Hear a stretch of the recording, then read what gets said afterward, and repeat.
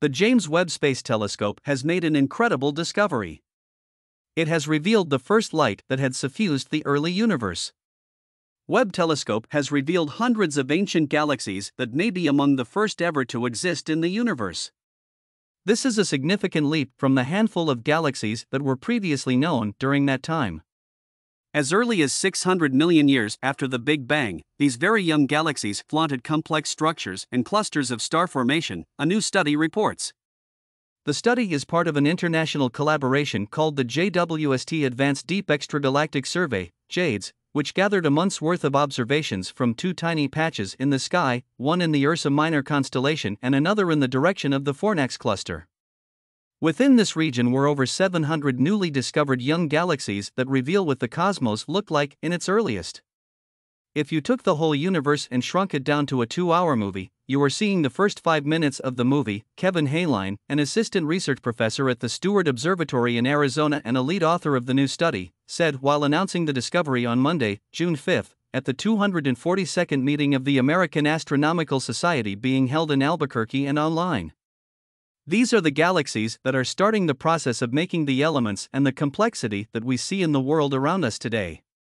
These new findings shed light on how the first galaxies and stars formed, creating the rich catalog of elements observed in the universe today. In those five minutes alone, which marks the universe to be between 370 million and 650 million years old, Hainlines and his colleagues studying Webb's data found 717 young galaxies, which turns out to be higher than previous predictions, with all of them already spanning thousands of light years, sporting complex structures, and birthing stars in multiple clusters. Previously, the earliest galaxies we could see just looked like little smudges. And yet, those smudges represent millions or even billions of stars at the beginning of the universe, Hainline said in a statement. Now, we can see that some of them are actually extended objects with visible structure.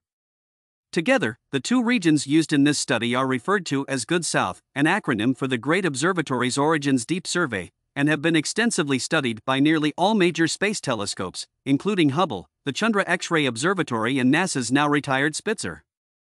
Despite this previous scrutiny, 93% of the newfound galaxies that Webb spotted during JADES had never been seen before.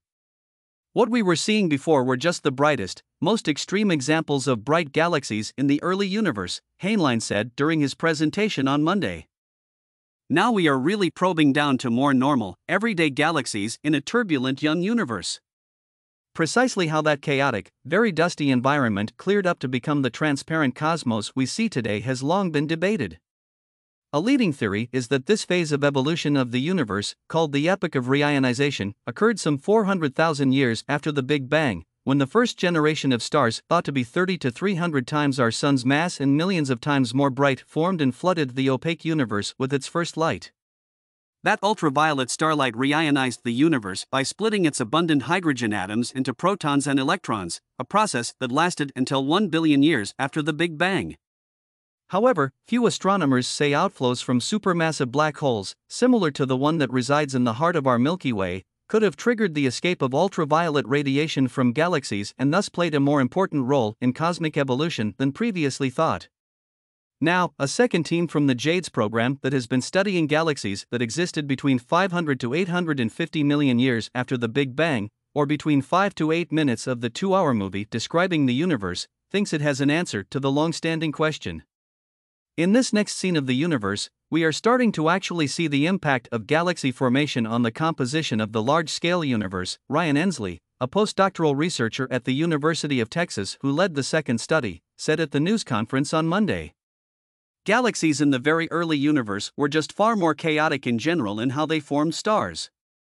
Endsley's team studied the signs of star formation in those very early galaxies, which provided insight into how starlight ionized the gas within those galaxies. The team found that 1 in 6 galaxies at the time showed extreme line emissions in the galaxy's spectra, a feature that atoms ionized by starlight radiate when they have cooled down and combined with other molecules. Those emission lines are evidence that early galaxies were actively birthing stars, which then pumped torrents of ultraviolet photons into their respective galaxies. This way, the universe's early stars became the main drivers of cosmic reionization, Endsley said. These extreme emission lines are actually relatively common in the very early universe, he said during his presentation. Almost every single galaxy that we are finding shows these unusually strong emission line signatures indicating intense recent star formation, he added in the statement. These early galaxies were very good at creating hot, massive stars. From the same emission lines, Endsley's team also inferred that galaxies in the early universe birth stars in short bursts followed by quiescent periods. All of a sudden, you would have tens of suns worth of solar masses being assembled all at once in these early galaxies, Ensley told reporters at the news briefing on Monday. That's really important for our understanding of how reionization happened because these hot massive stars were very efficient producers of these ultraviolet photons that we needed in order to ionize all the hydrogen in the early universe.